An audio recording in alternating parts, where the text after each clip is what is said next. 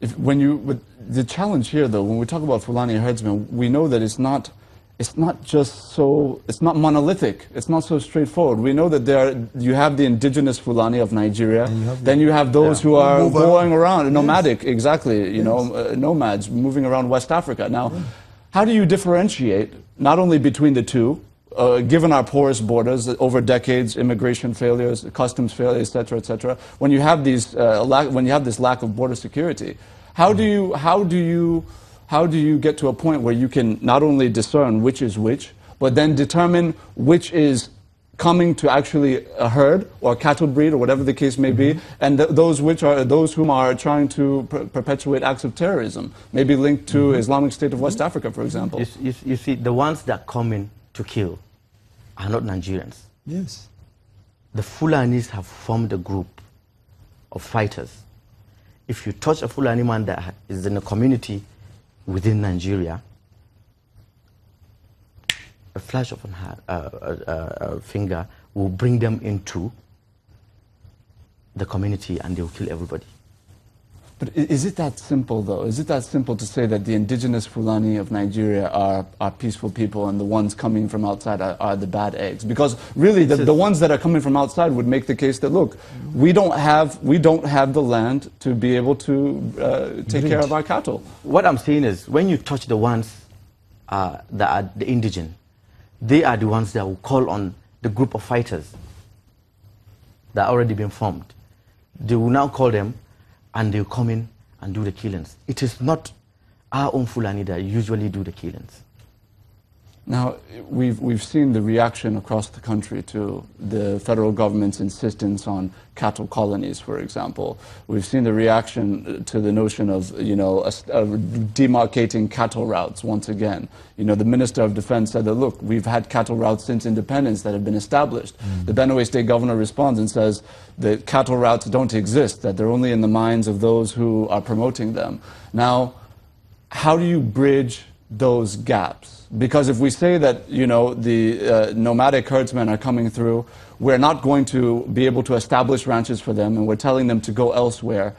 What then is the solution if you're a neighboring state like Nasarawa, for example? How do you think that could be handled? You see, first of all, we should be mindful, our leaders should be mindful of their utterances. Utterances. Sometimes it's escalate, it escalates uh, uh, uh, uh problems. If you have them, these things bring a lot of money. I think the government should sit from the council, local government and state government should sit and look at it very well. I've seen a recommendation a few weeks ago that says uh, you, you, you provide acres to ranches and ranches that, that, that the government will now start selling to private sectors. Mm and private sectors will now be paying tax, which is called jangali, and and that's in Hausa, uh, which has been paid before, mm. and and you make a lot of money from it. Take for example, you pay 1,000 naira on each cow every year. Mm-hmm. How much would that be with 22 million cows? It, it, sounds as if you're suggesting that if, if, uh, if, for example, all the stakeholders involved could remove ethnicity from this, from this discourse yeah. and really look at it as an opportunity For to potentially even develop a local exactly. economy yeah. if it's done properly. Yes. Uh, that people could actually find opportunity where there's a crisis. Uh, yes. Commissioner, what are your thoughts on that? Yeah, that is uh, because just like any other business, I think there should be some kind of openness in how business is being operated. And uh, all these issues before the, what has now aggravated this situation is uh, some people coming into communities with arms, sophisticated arms, dislodging them. Even 100 years ago, they have Fulanis have been living alongside with farmers, and they used to have problems. And because of the the powers, the the stakeholders avail them, were available to the stakeholders. They sit down together and iron out issues. But when a situation at hand is you now come and destroy my farm, and then you shoot me to death, and you destroy mm. my community, That is where this thing has gone bad. These people with the arms, where are they from? Who armed them? How did they how did they get the arms? So I think that is where we, we should find solution to this problem. And on the issue of the people who are coming in, yes, there are foreigners who have come in and and they are the, yeah, the Commissioner, issue, the issue is not even business. Mm. The issue now is a kind of people coming to destroy others. Commissioner, I'm sorry, I, I want you to be able to land, but we're going to have to go on break. Okay, just, okay, just remain okay. for a moment? Just our join uh, viewers, please stay with us. We'll be back in just a moment.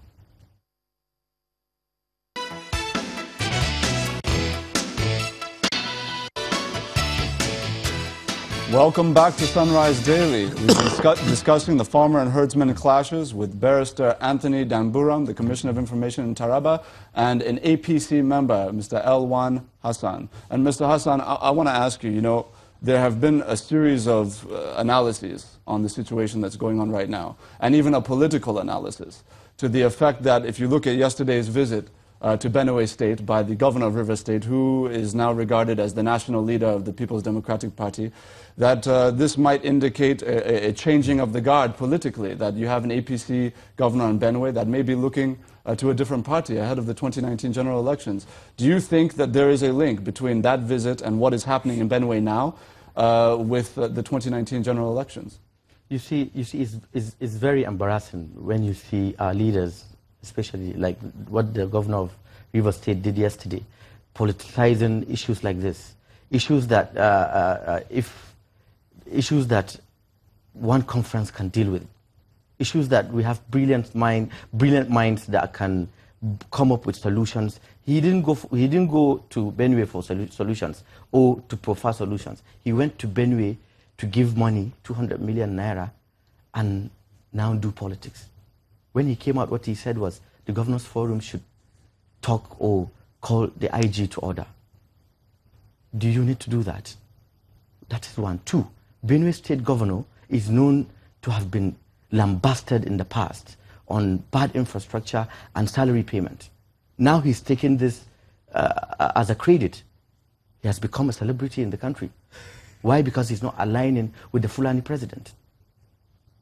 So, so wait, wait. So you're suggesting now that he's he, uh, the Benue State governor is essentially using this crisis Yes. to, to develop a support base in his own yes, state? Yes, he is. Yes, he is. Tell me what he has done in the last three years, apart from this. Uh, Co- Commissioner, I want to get your chance to respond. You're a PDP member. Is there a realignment taking place in Benue? Definitely not only in Benue, and it is very natural that there has to be some permutation, especially when we when we are coming when we are in an election year or when we are approaching an election year. So any mistake done by the other person who is either who is on seat, it has to be taken advantage of by those who are who are in the opposition. So I don't see anything wrong with what is happening, but I agree with him that we shouldn't politicize issues of security. But what the, the executive governor of River State came to do in Benue, it was a humanit- humanitarian visit. He gave out 200 million naira. And I think that should be applauded. In fact, we shouldn't even emphasize on what he said. Let us, let us uh, applaud what he did by giving 200 million naira uh, uh, to the people of Benue so that those who are, those 19,000 people that have been moved away from their, eh, from, from their communities get st- stuck up. So I think we should applaud that. This is certainly going to generate a lot of conversation amongst Nigerians who are watching this program. And on that note, we're going to close this edition of Sunrise Daily. We've been standing by with uh, Alwan Hassan, a member of the APC, and Barrister Anthony Danburam, the Commissioner of Information in Taraba State. we thank you so much for coming on the program. Thank you.